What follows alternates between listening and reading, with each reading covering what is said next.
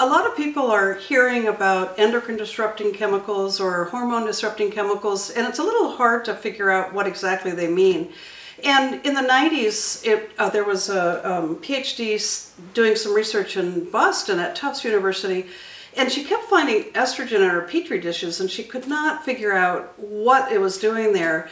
And after eliminating everything she could think of, she finally realized that the estrogen was coming into her petri dishes from the plastic tubing that went into the petri dish. And so the plastic itself was emitting estrogen.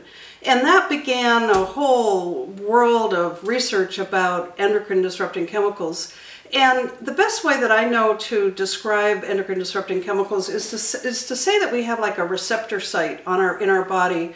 And a, a chemical comes in, let's say we think it's estrogen, the body comes, it comes into this receptor site and the body says, oh, great, we have estrogen, and it goes along and does all of its the, the things it's supposed to do. But then all of a sudden, the body malfunctions because, in fact, it's not really estrogen, it's actually plastic. And it's an estrogen mimicker, and it causes all sorts of havoc in, um, in the body.